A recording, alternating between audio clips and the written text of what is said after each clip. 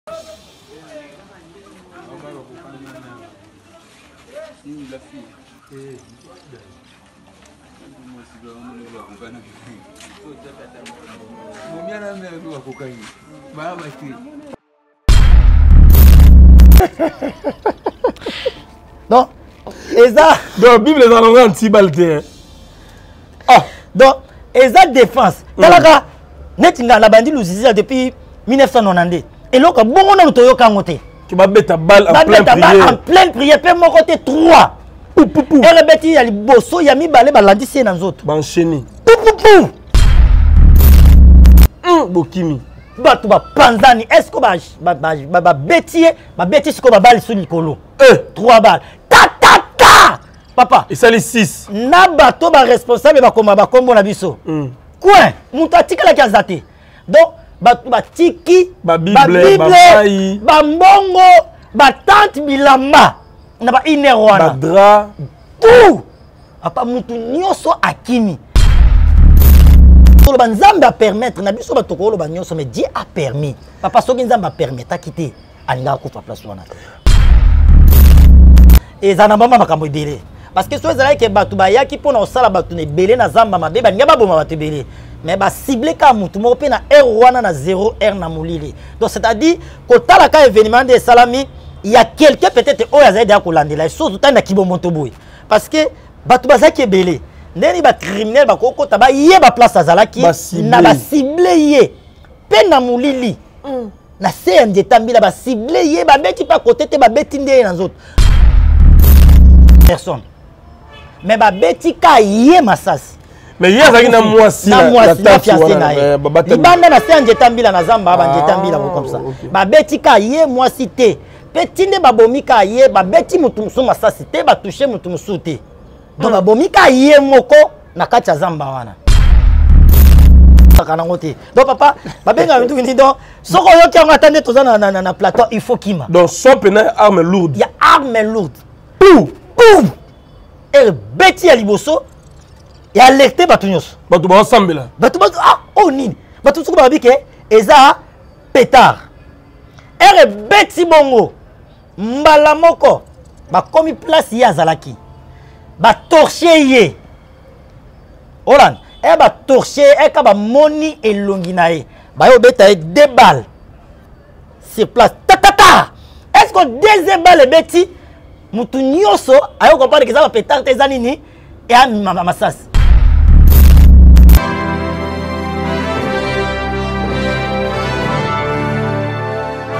Merci à tous et à toutes. Euh, bienvenue chez nous, mesdames et messieurs, chers amis téléspectateurs.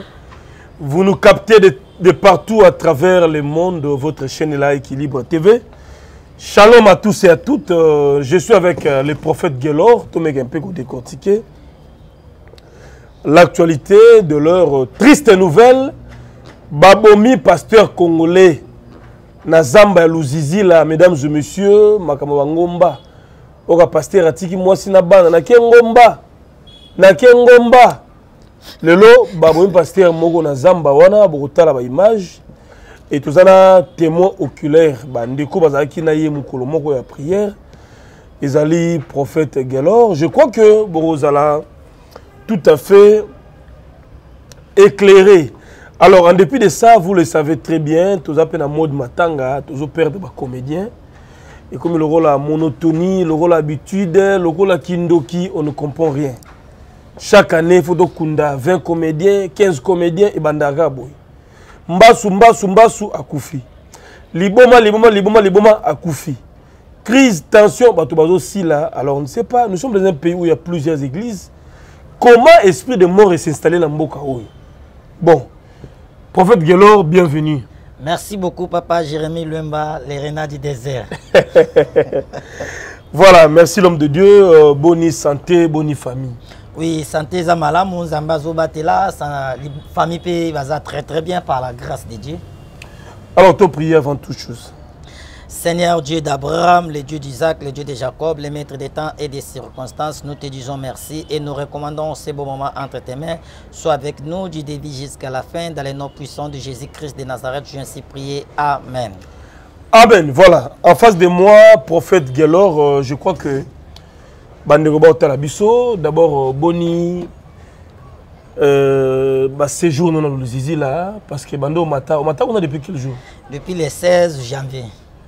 oza na zamba oui naza na zamba oliaka ndenge nini omelaka nini kuna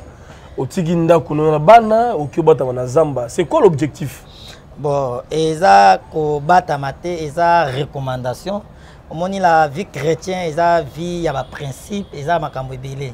et surtout nous les prophètes totambola neti bato nyonso batambola te hmm. totambola selon insu dit l'éternel donc nde nzambe azoyebisa osala ndenge osala moni neti meme autant de la bible baprophète neti ba esaïe nzambe ayebisi ye tambola motakala mm. eh, esaïe alongola bilamba atambola motakala donc soki lelo bato babenga ndoki mais c'est ça la vie d'un prophète donc totambolaka ndenge nzambe alingi e non nde bato balingi yango omoni vie ya prophète bato bakomprenaka yango te mm. eza bato ebeleka ndenge ezoloba depuis le 16 naza na zamba nakutela bamakambo ebele baliwa la famille mais je suis toujours là okobima mozongi ti jusqu'à ce que nzambe aoyebisa nga miso na ngai esili parce que naosilisa e, sacrifice na nga selon nzambe ndenge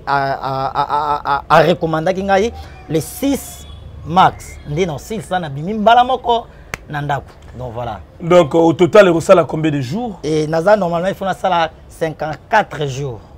de prière na zamba oui. donc otiki mwasi otiki baposa nzoto otiki posa ya mwa o mwa eloko omela tout ça okeka na vie de prière chaque chose a son temps mm -hmm. il y a un temps pour tout eloko na eloko eza na ngonga nango donc neti temps eza temps ya sacrifice il faut nasala temps wana Voilà, merci beaucoup, bonne chance, espérons que vous commencez à Souka. Amen, merci beaucoup. Ça c'est très bien, mais aux Anna Nazamba Luzizi là. Nazamba comment Luzizi là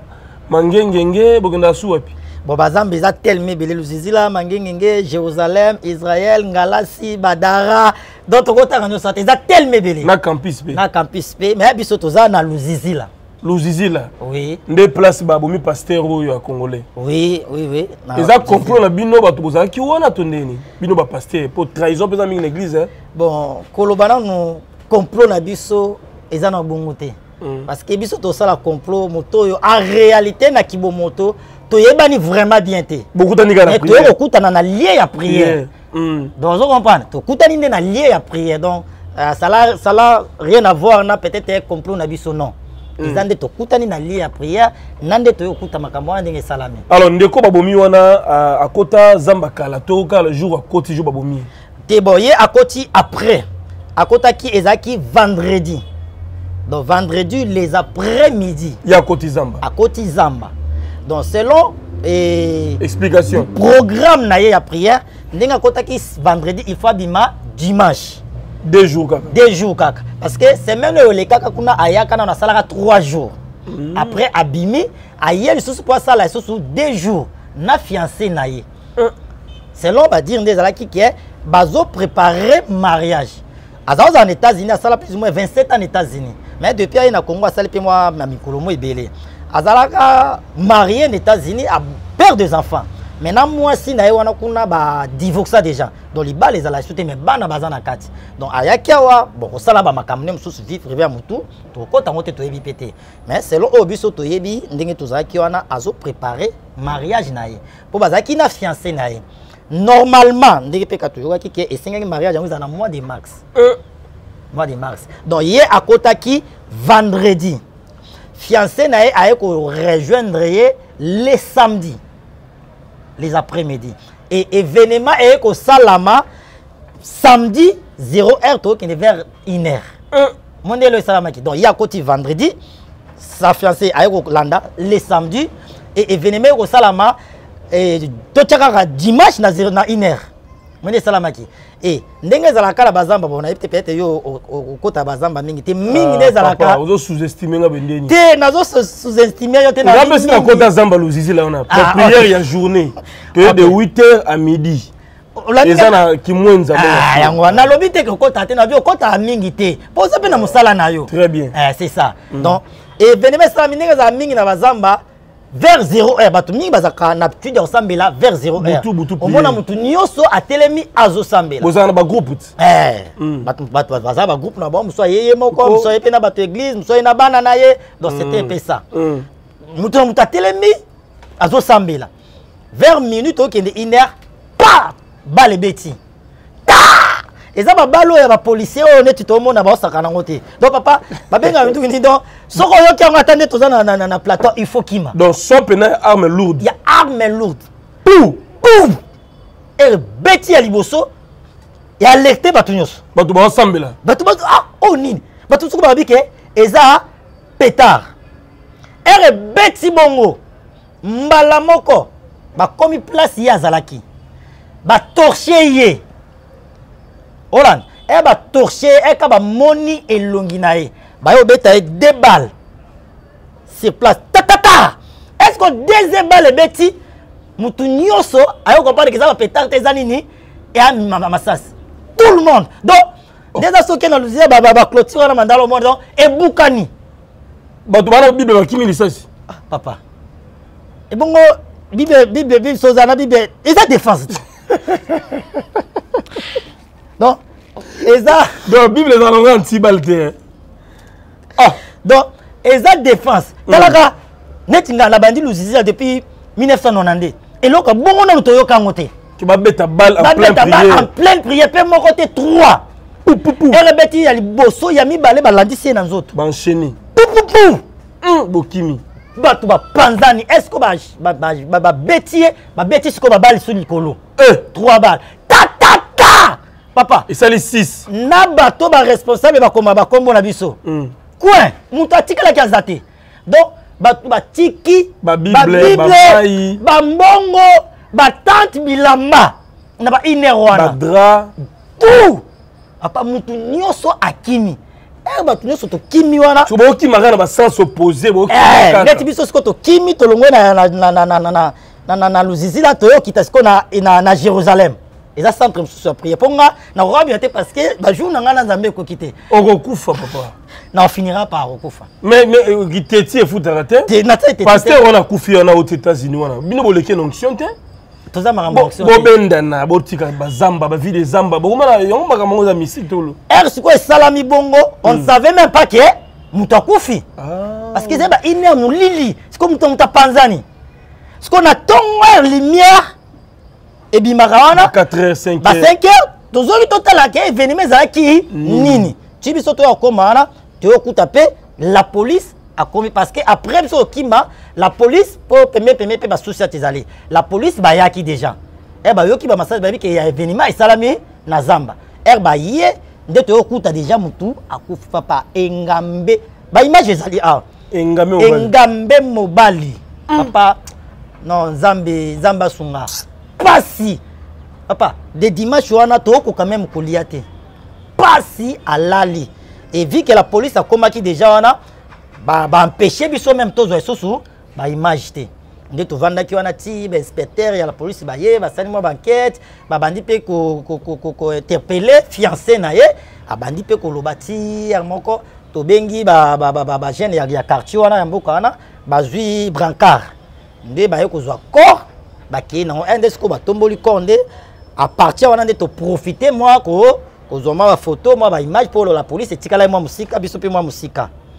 ça c'est très bien dit en tout cas ça fait mal c'est choquant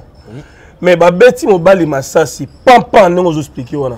sa femme à côté mwasi oui. pembeni basimbi oui. mwasi te donc nde basali événement toloba nde na luziza nde bato bazalaki yana bakozala plus de 200 personnes mais babeti ka ye masasi mais ye azalaki na mwasi na mwasi na fiancé na ye libanda na se ya njeta mbila na zamba banjeta mbila ko comme ça babeti ka ye mwasi te mpe ti nde babomi ka ye babeti motu mosusu masasi te batouche motu mosusu te donc abomi ka ye moko na kati ya zamba wana mais ça reste quand même euh, quelque chose de très louche oui est ce que ye ndeko yango mwasi wana aza complice ya makambo yango est ce que ndeko yango ya américain congolais yango to états-unis pasteur yango azalaki na mbongo na zamba wana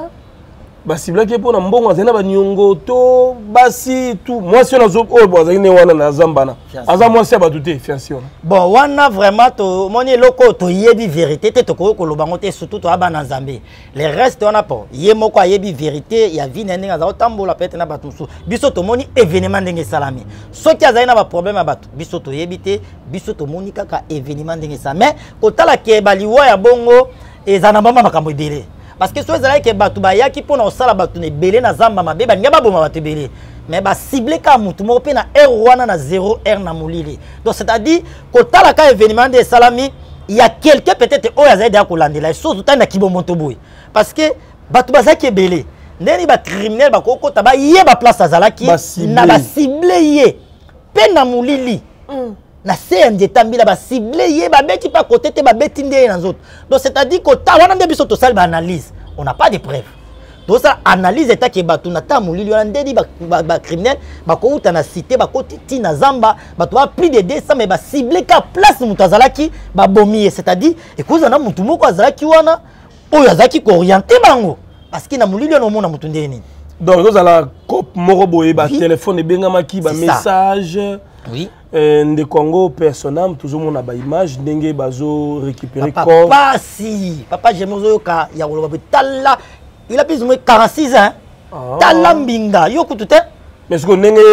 bomonaki batrace atiki bapièce d'identité atiki mbongo atiki nini tout ça sur le lieu bon ndenge tolobi e eh, biso topanzanaki lorsque biso tozoya toyokuta deya na police ezalaki wana e babengaki mpe mama na ye na telefone mama ne mpe ayaki wana na ntongo mama na ye abandi mpe kolela bon donc c'était mpe ça babiloko mosusu wana ezalaki déjà na maboko ya la police parce que la police akomaki déjà wana mais ce qui est vrai azalaki marie na états-unis adivorsa adivorsa ndenge kobala siko fiance ayaki mpo abala mwasi wana selon ndenge toyoki yango mwasi yango mpe azalaka mwana kini kaka oui azalaki na ye mpe wana na retraite ah eh. na video mpe tofilmeke bomona mwasi moko alati ro moko neti ya, ya rose boye eh, ye wana aza mwa mbinga mpe boye en tout cas nous devons toujours être prudent makambo eza ebele même na entourage na biso même basi tozolinga même bafamille donc makambo eza ebele mais ce qui est quand même grave papa moto en pleine prière akekufa na masasi bino kosambelaka kola protege biso makila na yesu ebatela biso mais comment tu peux expliquer ça moto aosambela na luzizi la oyo eza lie moko sacré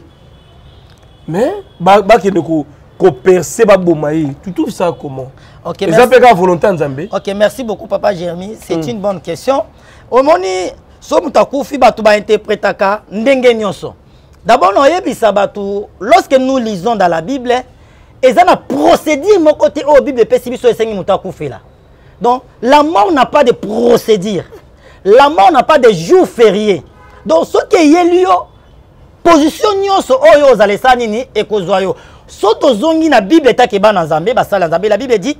qui dira une chose arrive ça que l'éternel a accordé yango donc c'est à dire ere akufi wana donc nzambe na plan na ye nzambe ayebaki quand on parle de la souveraineté de dieu mm. dieu savait epa nzambe azar ezalaka te papa lelo bato mosusu bakoloba ke oui ça fait mal na lie ya prière oui c'est une bonne chose mais au temps de la bible les apôtres bakata bango mpe bamitu oloba nini ok liwa ya kokata bato mitu ezalaki mpo na bassassin mais les apôtres bakata bango bamitu c'est-à-dire eza bacirconstance oyo bakutana yango na babiennemi mpo baenchemine bango neti ye ekuteli ye mpo na bango c'est-à-dire bamonaki ke lie ya malamu peut-être bakoki koatteindre ye ezalaki na zamba peut-être na cité bakoki komona ndenge akozwela ye te mpo eza deya mission bamoni ke lie peut-être tokozwa ye na fasi eza wapi na zamba parce que eza na insécurité moto akosécurise ye na kibomoto aza te mais nzambe apermettre nzambe ayebaki ke akokufa soki nzambe apermetaki te ke akufa na zamba il n'allait pas mourir eza mpe na basala nzambe mosusu bakufa mpe na chaire ce n'est pas un problème eza péché mpe te eza nde nzambe apermettre totika kointerprete kaka ke ce n'est pas dit ke soki ozosambela liwa euh, euh, to moto asambelaka il faut akufa na liwa moko boye alali te procédure ezalaka te mais liwa eza mpe propre quand même non yango tozoloba nzambe apermettre na biso bato koloba nyonso mais dieu a permis papa soki nzambe apermetaki te alingaka kufa place wana alors ça c'est très bien mais sikoyo bazamba oyo boyoki baluzizila wana tantôt bazokuta bapaster na basi kuna tantôt il y a des morts tantôt il y a des vols ozo trouver en commun ce que c'est toujours intéressant na bino baservite bomataka kaka bazamba wana bon obie ekomaka oke zamba na ntongo na mpo kozongi mpo ya kolala wana ekomi kozi batongo eza lelo moko bato so peut-être baignoraka baloba wana oyaka bato ebele balobaka ke nake zamba nake koluka nzambe non mm. tokendaka koluka nzambe te nzambe toza na ye aza kati na biso Il est omnipotent. la bible dit ne savez-vous pas, vous pas que vous êtes le temple de dieu et que l'esprit de dieu habite à vous neti nga kokende zamba nakenda nzambe nakenda zamba par sentiment te nakenda par rapport ya orientation mpe directive ya nzambe deuxièmement tokenda zamba mpona eza neti ke tose retire moi même jésus so otangi na bible ezali na batango boye azali kose retire meme na badisciple ake na zamba pourquoi eza na batango mosusu nde tozala biso toza na bana na bandako okozala mpo na badistraction mpo na ose concentre il faut na se retire eza teke na keluka nzambe na se retire mpo nazala concentre donc nzambe a partout nzambe die il, il est partout eloko mpe esingi na nzambe ayanola moto eza mpo na oke nzambe te la disposition de nos cœur si tu es droit avec dieu intimité na yo na nzambe partout là où tu peux prier nzambe akoyanola yo donc c'est ça eza te ke nzambe ayoka nde so moto ake zamba eza bato baza na zamba wana babeta ba plus de 5 ans basambela mpo na sujet moko bazwa mpe solution te oh. mais oui libala libala libala azwa yango mpe te azoluka mpe mabota abeta plus de 5 ans mpe akenda zamba mais azwa yango te pour dire quoi eza te ke ozwaka solution na zamba Donc euh, la mort peut te trouver partout. Partout la mort n'a pas de procédure. Dès que tu as papa Jérémie, bah quoi biso to six ka émission. Bon bibi biso que prophète Gelo a koufi. Moi je peux te donner un exemple. Nga na yoka soma baliwa mi balé. J'ai un grand frère à Koufa na l'an 2006. Eh, to tambola ka boye papa Jérémie. na nzela maladi te nini te totambolaka tosolola boye agelor ah, eh, fiston abeta libaku akaka ah, e eh, gelor nabeti libaku moyeka nde moto akitaka baosimba liboko kokita okita tina se kao eza moto abetela te oh. ongama ona vivre akufi sur place oloba nini jete na 2019 ngai nakufela mwana navandi na bureau etake prophète naoyamba bato consultation prophétique natiki mwana ayebi ke mwana ni maladi ni eloko oh. on m'appelle seulement ke prophète mwana akufi oh. mon fils à l'âge de 10 ans rien ale ya poison te rien donc pour dire quoi la mort n'a pas de procédure soki akufa nde nini akufi nzambe apermete akufa eh, nzambe abeli te nini te babengi akufi wana bato balobi kolekisi ye ah. mokili balobaka oyo balobeli mokili balobaka te mpo bino mpe bapaster mpe mingi bomo olekisa bato sikona olekisa mpo nazwa nini yo oyebi nga naza na nini te so totyelaki bamoto naza nini onga na koboma motu totambola makolo te moto akoboma motu mpo atambola makolo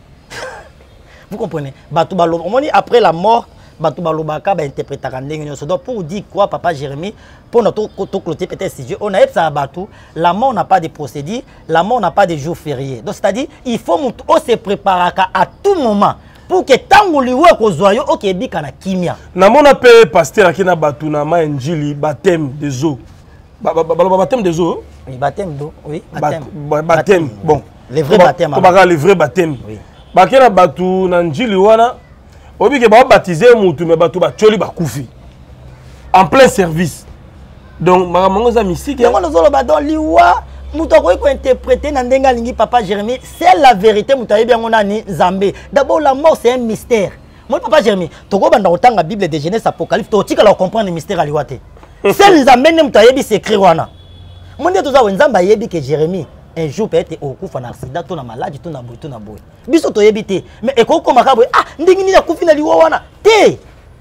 voilà merci ya mimi ndume na monshinglaba nadine maifuila na bruxelles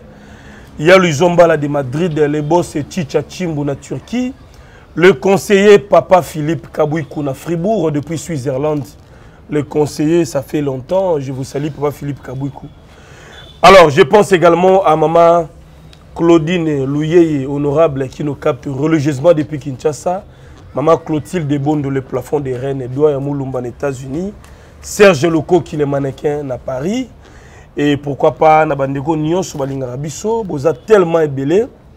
bishop edina ngama depuis caroline du nord na mama magi napesi bino mbote eh, pasteur euh, olivier tabala depuis london city levé gérard sadam na manchester prophète c'est vrai oza na peut-être euh, message okoki exhorte bandeko parce que nous passons des moments très difficiles très durs makambo eza ebele nayebi te oyo nzambe atyo na motema oyo exhorte bandeko osala bien epuis na suka o rappele bandeko dossier oza nango ya, ya place mpo na église oza un bon prédicateur un bon prophète très gentil tozalaka no toujours ensemble ozobikisa bandeko ebele même pour moi même nde oza naza bongo mpoya mpo na ngai mpo na libota na ngai mpo na chaîne na ngai je vous remercie infiniment Amen. mais oza na difficulté moko tolo bango bosembo ozwi bacour na bavie tout ça et puis église bando olongwa na lie na wana ya kala okozwaka eh, place ya sika te pourquoi yo ozwaka bambongo garanti ezanga ko ndenge ni papa bon ko merci d'abord parce que mpo ondimi kolekisa eloko wana naza kutu surpris ke okobi ete eloko wana mm. nzambe apampo na na posa okoma na église na yaka koprie dimanche amen siko yo okoma kaka kosangana na bato na ndako tout ça église na yo moko banda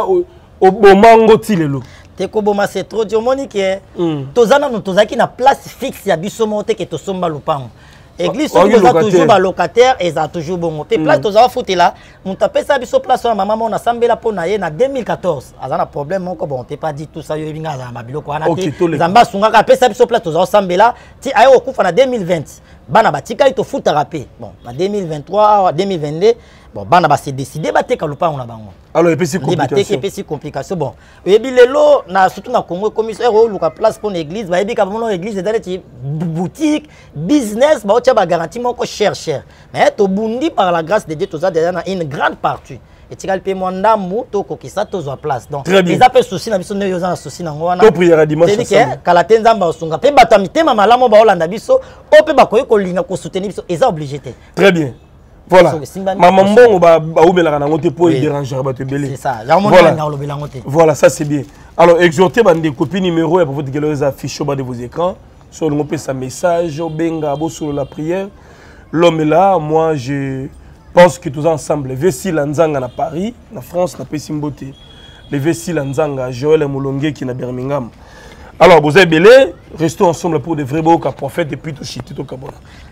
Mm. ok merci beaucoup nzambe apambola bino nyonso bozwi lisusu libaku malamu ya kolanda biso tolingi topartage no ete moko eza kaka mokie bien aimé dans le seigneur landa biso peut-être tozala molai te mais peut-être profond tolingi tolobela sur l'importance de la prière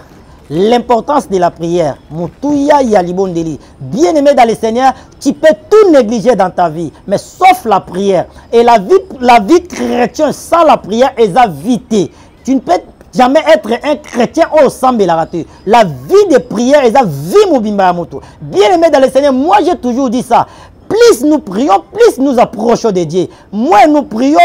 plus nous éloignons de Dieu. La prière est un dialogue entre Moutou et Zambé. La prière est un seul moyen oyo ngai na yo bien aimé tokoki kose communiquer na nzambe vous savez si dieu veut te parler nzambe akoki koparle yo na banzela ebele nzambe akolobela yo na nzela maloba na ye na nzela prophetie na nzela songe meme na nzela nyama meme na nzela moto ya liboma dieu peut te parler mais yo na ngai bien aimé ko oyo esengaka tosolola na nzambe rien que la prière raison pour laquelle bien aimé tu ne peux jamais négliger la vie de prière la prière c'est un dialogue avec l'homme et son dieu sans plus tarder m'a makomi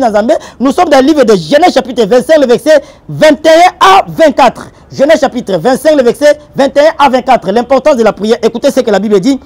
Isaac implora l'Éternel pour sa femme, car elle était stérile. Et l'Éternel exauça. Rebecca, sa femme, devint enceinte. Les enfants se heurtaient dans les seins. Et il dit, s'il n'était ainsi, pourquoi suis-je enceinte Elle alla consulter l'Éternel. Et l'Éternel lui dit, des nations sont dans ton ventre et deux peuples se sépareront au sortir de tes entrailles. Un de ces peuples sera plus fort que l'autre, et le plus grand sera assujetti au plus petit. Parole du Seigneur, l'importance de la prière. Bien aimé, ici, là où nous venons de lire,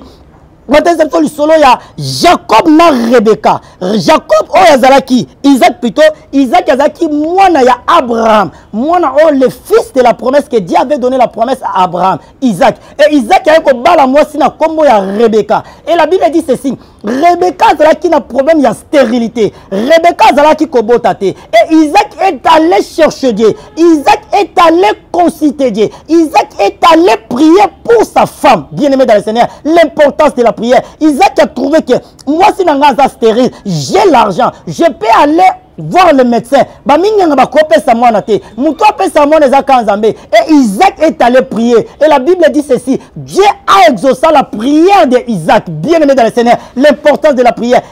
et sa femme Rebecca a commis na zemi. Qu'est-ce qui fait que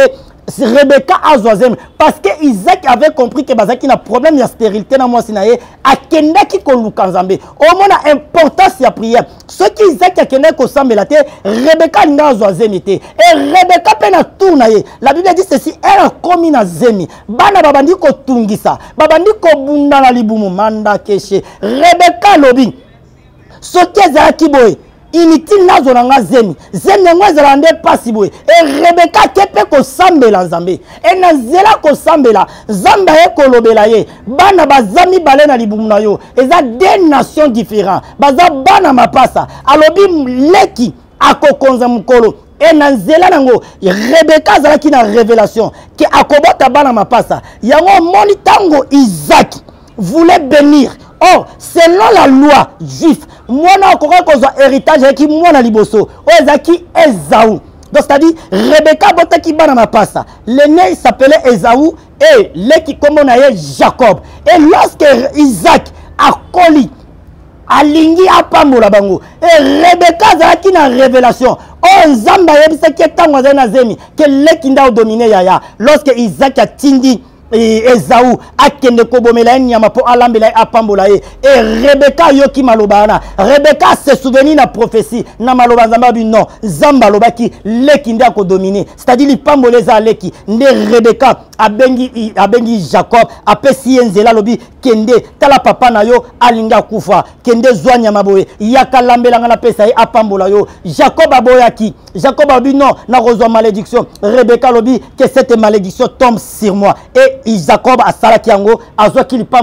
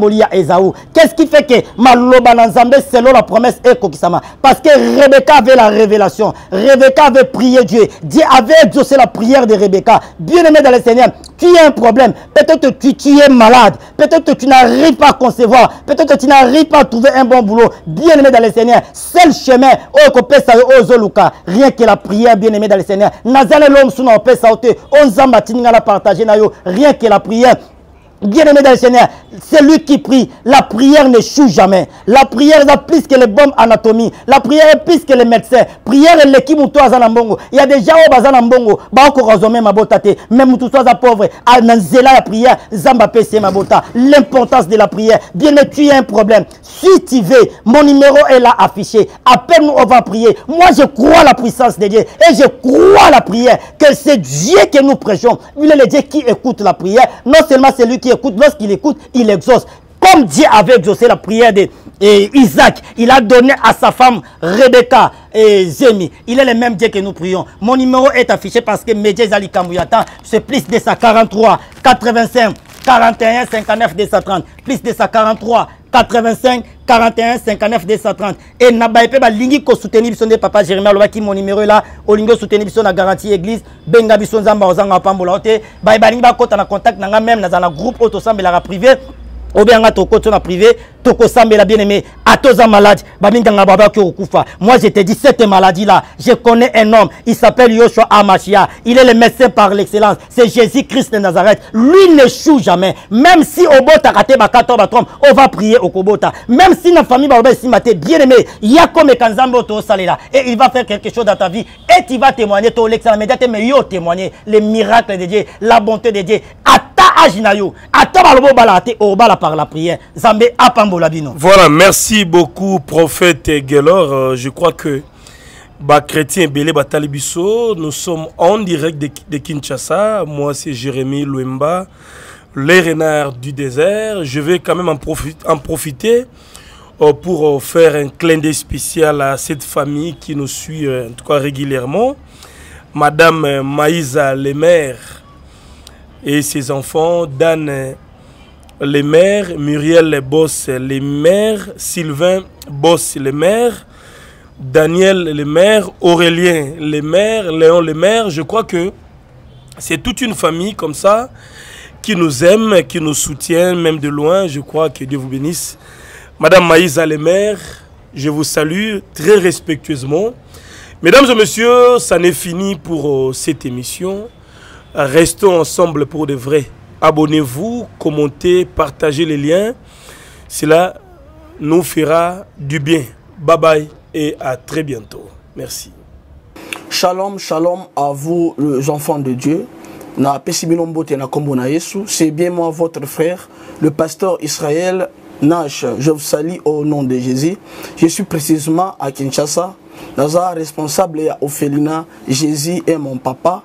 naye liboso na bino mpo na kopresente bino bana oyo bozomona na bilili mpe badifficulté toza nango nabandaki mosala oyo ça fait longtemps ya kobokola bana selon ainsi du l'éternel mais badifficulté eza mingi difficulté ya loyer parce que tozofutela epuis difficulté ya kofutela bana minerval